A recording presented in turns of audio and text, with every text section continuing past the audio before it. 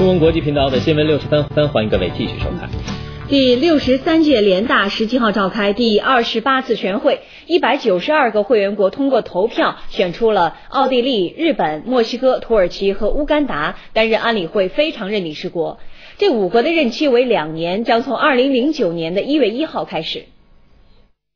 当天的投票中，日本以一百五十八票的高票击败伊朗，获得亚洲组的席位。这是日本第十次当选安理会非常任理事国，日本将接替印度尼西亚在安理会的席位。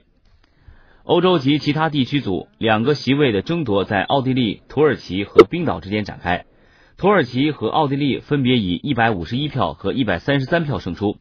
奥地利和土耳其将接替比利时和意大利的席位。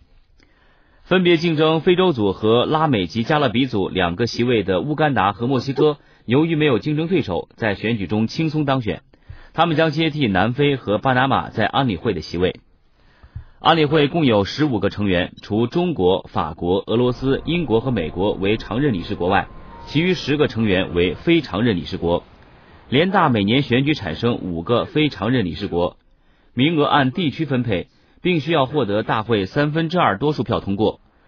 目前，安理会非常任理事国还包括去年当选的利比亚、越南、布基纳法索、哥斯达黎加和克罗地亚，他们的任期到二零零九年底结束。